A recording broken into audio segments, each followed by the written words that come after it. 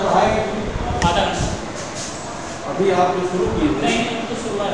ठीक। ठीक। आज हम लोग पढ़ेंगे आनत तल पर पिंड का घर्षण। ये कोई आनत तल है? जो थीटा कोण पर झुका हुआ है। और इस पर कोई कोई नियम है? जिसका क्षैतिज बल एक लग रहा है तो विपरीत दिशा में घर्षण बल। यज्ञ होगा। अगर एक बल इधर लगा रहे हैं तो घर्षण बल ऊपर की ओर होगा। गति की दिशा पर ये डिपेंड है। तो क्रिया बल जो है, आर है। R equal M D cos theta balance होगा। और एम डी साइन थीटा नीचे की ओर होगा। दो कंडीशन इसमें बनेगी। जब पिंड नीचे की ओर आ रहा हो, यानी पिंड नीचे की ओर गत कर रहा हो तब क्या होगा? जब नीचे की ओर गत करेगा तो M G sine theta F K से अधिक होगा। इसलिए एम जी साइन थीटा में से एफ़ के घटा देंगे और बचेगा एम ए हम जानते हैं कि एफ़ की प्रोपोर्शनल आर और आर इक्वल है M G cos theta F K equal M G theta होगा. F K equal mu K M G theta लेंगे अब एक समीकरण बन गया M G sine theta minus F K equal दूसरा F K equal mu K M theta दोनों समीकरण को मिला दिया जाए. एक और दो से M G sine theta minus mu K M G cos theta equal M A ये हम दोनों तरफ़ कैंसिल हो जाएगा। G sine theta minus mu K. G भी कॉमन ले लीजिए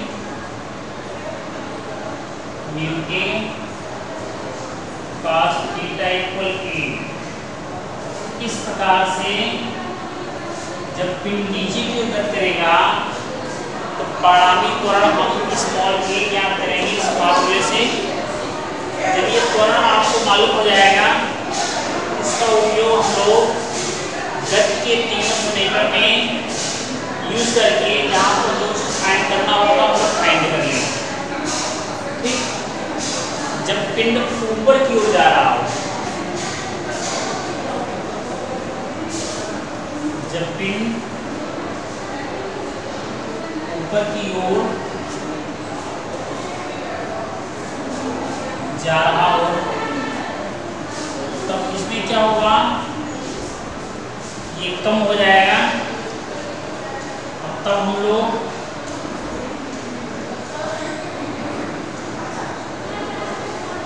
एफ़ के में से एम जी साइन थीटा को घटा लेंगे। और ये कंडीशन वही होगा। तब यहाँ हो जाएगा।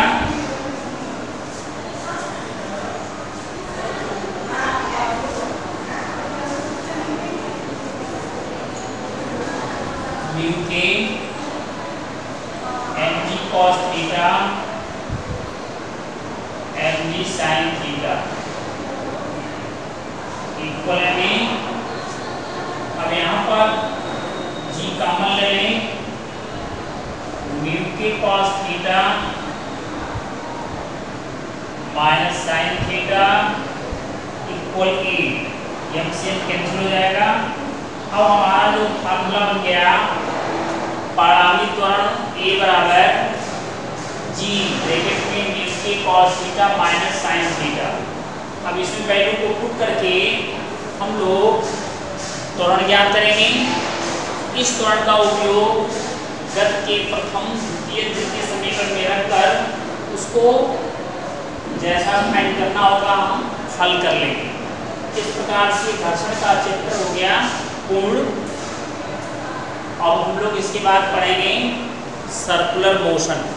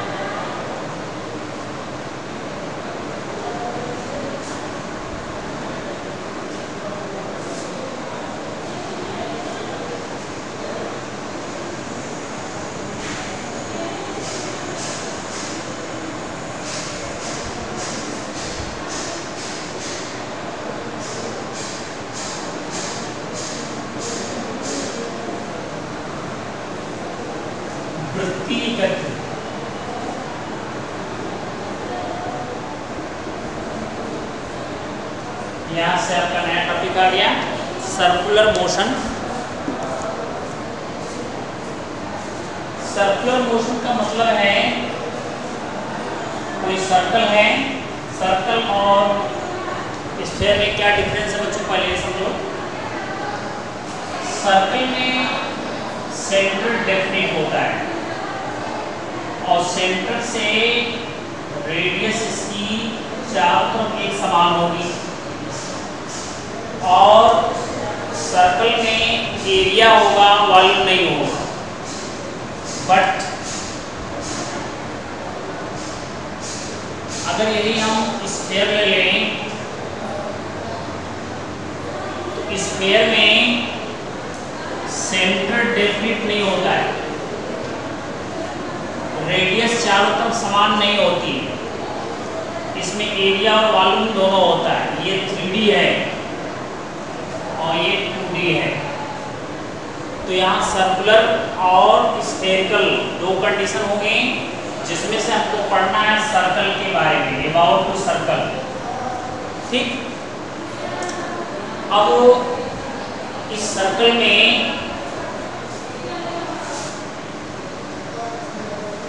हमको ये देखना है कि किस प्रकार का मोशन है।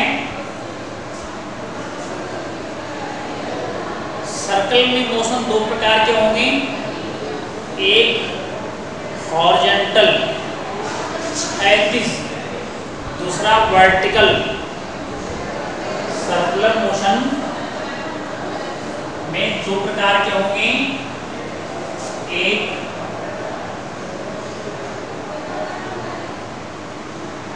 हॉरिजॉन्टल सर्कुलर मोशन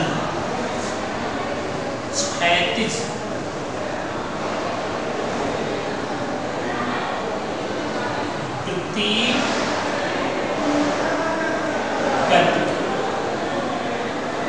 दूसरा है वर्टिकल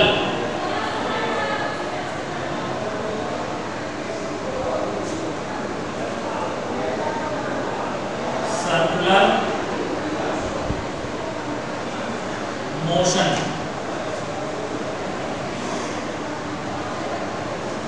ऊर्ध्वाधर वृत्तीय गति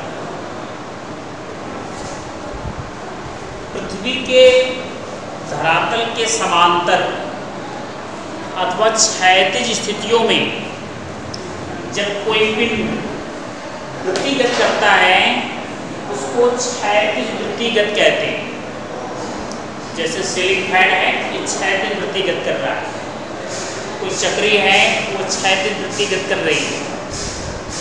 ठीक। वर्टिकल सर्कुलर मोशन में जब कोई पिंड पृथ्वी के धरातल के लंबवत या ऊर्ध्वाधर गत करती है तो उसको ऊर्ध्वाधर वृत्तिगत कहते हैं। जैसे टेबल फ़ैन टेबल फ़ैन ऊर्ध्वाधर वृत्तिगत कर रहा है साइकिल, मोटरसाइकिल, कार इत्यादि की जो पहिए हैं, ये ऊर्ध्वाधर वृत्तिगत कर रहे हैं। तो इस ऊर्ध्वाधर वृत्ति गति में वेग हमेशा बदलता चला जाएगा। हम लोग सबसे पहले पढ़ेंगे क्षैतिज वृत्ति गति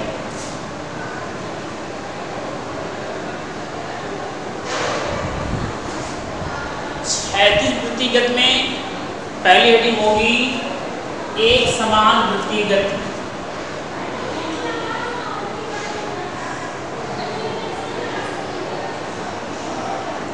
एक समान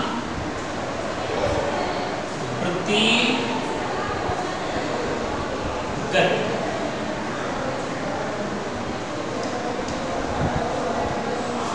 जब कोई पिंड किसी वृत्त पर वृत्तिगत करता है और उसकी चाल नियत होती है।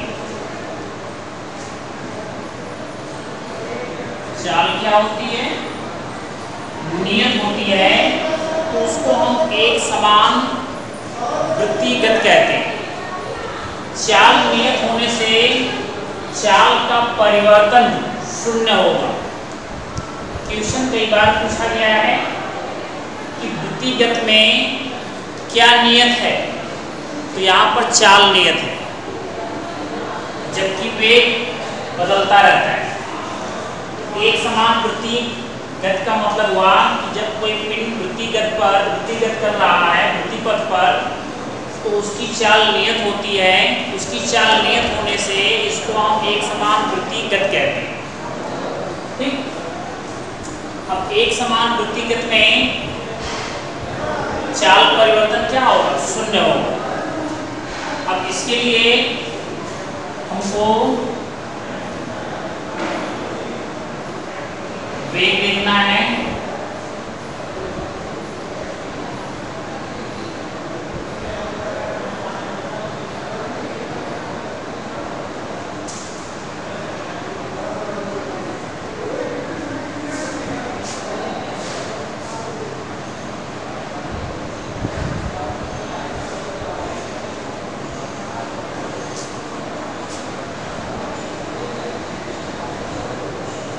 सबसे पहले हम लोग पढ़ेंगे इसमें कोणीय विस्थापन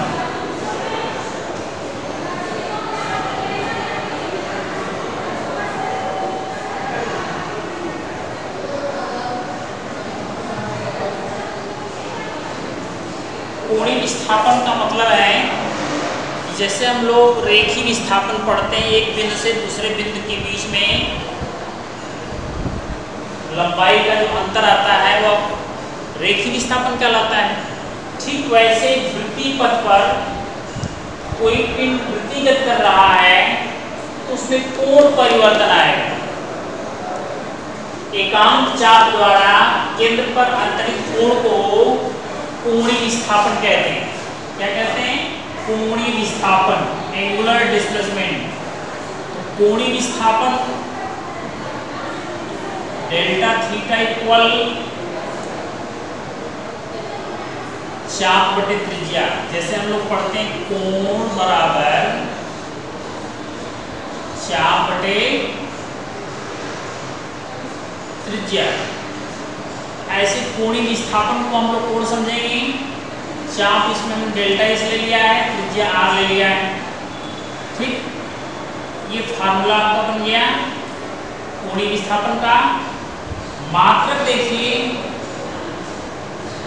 मात्रक हो जाएगा यहाँ मीटर और नीचे मीटर कैंसिल कोई मात्रक नहीं है, लेकिन इसका पूरक मात्रक है रेडियन रेडियन माने कोणीय विस्थापन का मात्रक आपको रेडियन मिलेगा। इस रेडियन से हम लोग यहाँ माप करेंगे। मान लीजिए पूरा एक चक्र कोई वृत्तिगत कर रहा है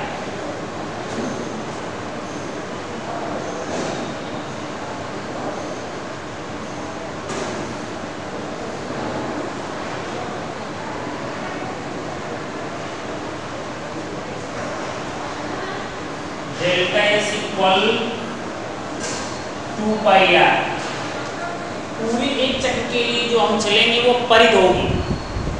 परिध होता है पाई गुणे व्यास। व्यास बराबर होता है टू आर। इसलिए डेल्टा एस बराबर आप लिखेंगे टू पाई आर।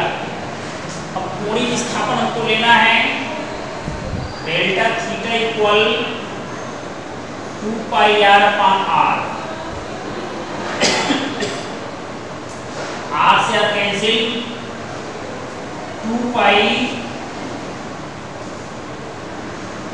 रेडियन जब पाई के टर्म में कोण होगा तो वह रेडियन जाएगा एक में सब कह सकते हैं कि कोणीय विस्थापन अधिकतम 2 पाई रेडियन होता है। इसी कोणीय विस्थापन को हम लोग समतल कोण के नाम से भी जानते हैं।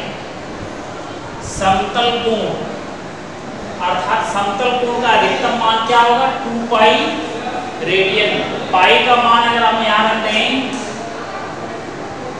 180 अंश टू पाई बराबर 360 अंश हो जाएगा। 360 अंश यानी एक बिंदु पर 360 अंश का कोण बनेगा। इस प्रकार से कोणीय विस्थापन आपको delta theta equal delta S by R पढ़ेंगे। अब जब कोणी विस्थापन आ गया तो उसमें हम लोग पढ़ेंगे कोणी वेग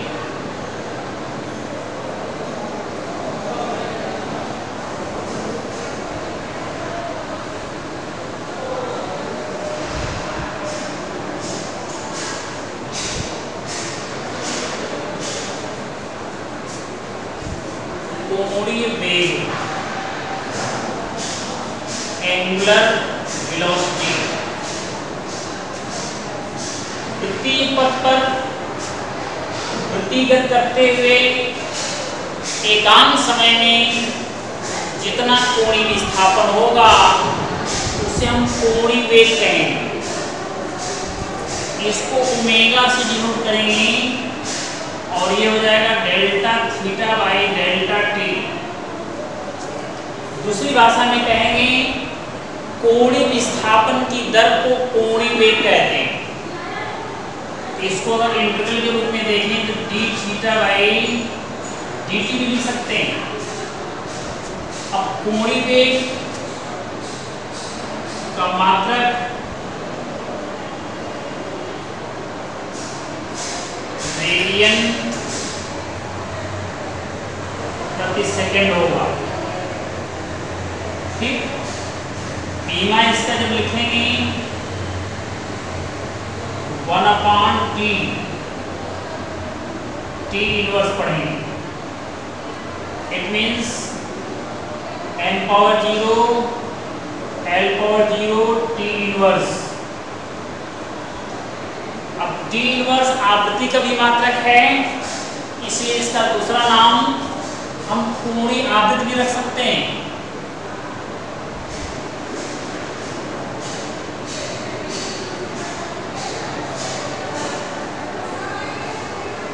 कोणीय आवृत्त अथवा कोणीय वेग कभी कभी हम लोग कोणीय वेग की जगह कोणीय आवृत्ति पूछ लेते हैं।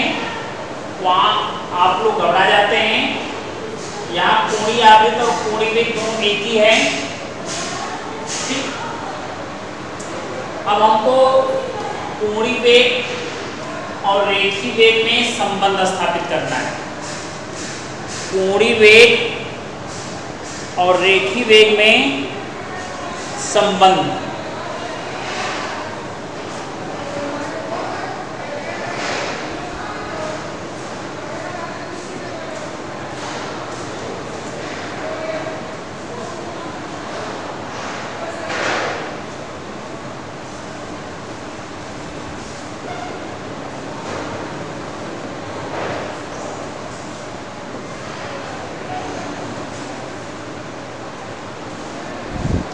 अब इसके लिए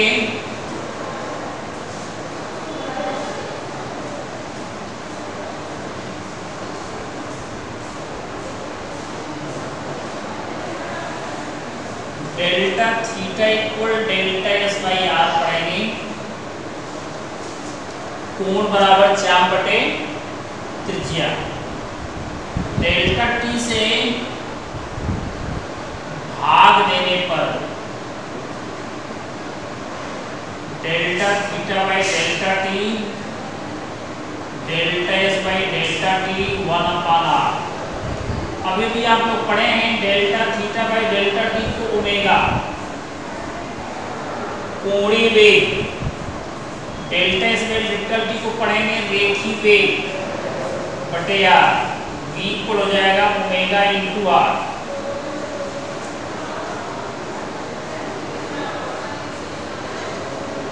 रेखी वेग बराबर कोणीय वेग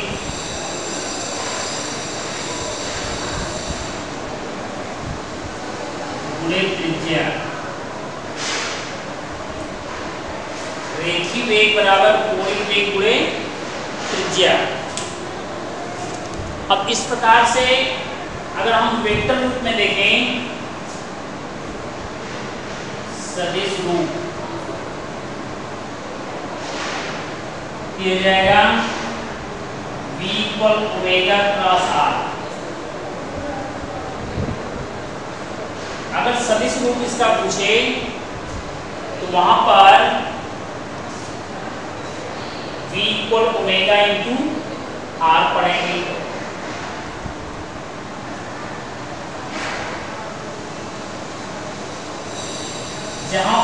equal delta theta by delta T पढ़ रहे हैं। D theta by D T पढ़ रहे हैं। इसी को अगर पढ़ लें, two pi by capital T पूरा एक चक्कर चलने में कोणीय विस्थापन टू पाई रेडियन है। और एक चक्कर पूरा करने में जो समय लग रहा है उसको हम आवर्तकाल कहेंगे। टू पाई बाई टी हो गया। इसी को हम लोग लिखेंगे पाई एन एन आवृत्ति है, चक्रों की संख्या है, और टी आवर्तकाल है। ओमेगा के लिए कितने टर्म हम यूज़ कर सकते हैं? जैसे एग्जांपल में देखिए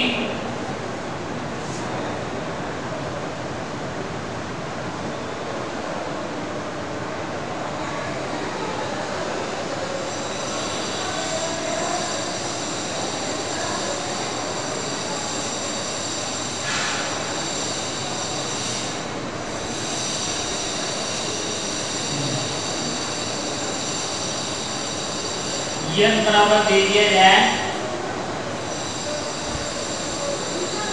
बारह सौ बटे बारह सौ चक्कर प्रति मिनट। हमें इसकी वैल्यू प्रति सेकंड ज्ञात करना है। बारह सौ बटे साठ कर देंगे। ये हो जाएगा आपका बीस चक्कर प्रति सेकेंड। अब यहाँ पर हमको अगर ओमेगा फाइंड करना है तो सीधे सीधे टू पाई एन लिखेंगे टू पाई गुड़े बीस, चालीस पाई रेडियन इस प्रकार से एक सवाल आएगा। अब यहाँ पर अगर दे दिया जाए आर का मान 5 सेंटीमीटर बी इक्वल हो जाएगा आर ओमेगा फाइव गुणे चालीस पाई सेंटीमीटर प्रति सेकेंड तो सबसे पहले हम लोग एन याद करेंगे। एन के साथ में आर दिया हो तो v बराबर आर ओमेगा रख करके इसका हम पूरा कर लेंगे। दूसरा एग्जांपल आएगा।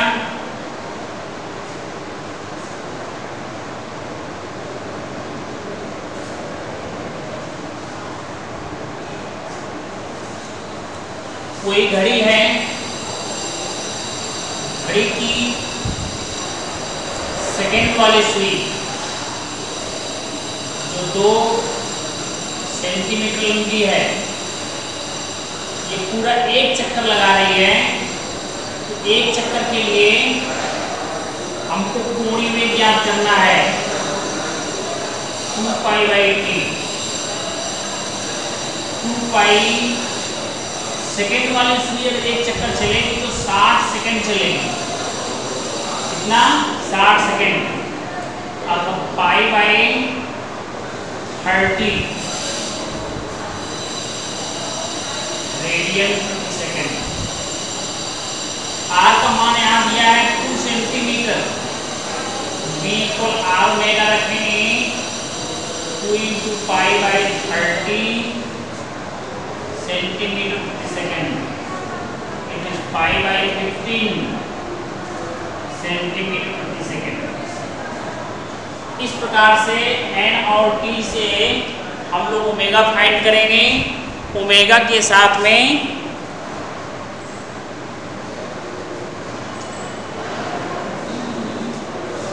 बी को फाइंड कर लिया जाए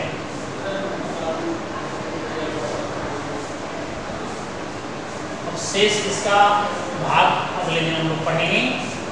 कल हम लोग को रेखी वेग कोणीय वेग आवर्तकाल आवर्तकाल का मतलब है पूरा एक वृत्त चलने में, एक चक्कर चलने में, जितना समय लगता है उसको हम आवर्तकाल कहते हैं। आवर्तकाल को टी से डिनोट करते हैं। आवृत्ति का मतलब है एक सेकंड में किए गए चक्रों की संख्या। एक सेकंड में किए गए कंपनों की संख्या को आवृत्त कहते हैं।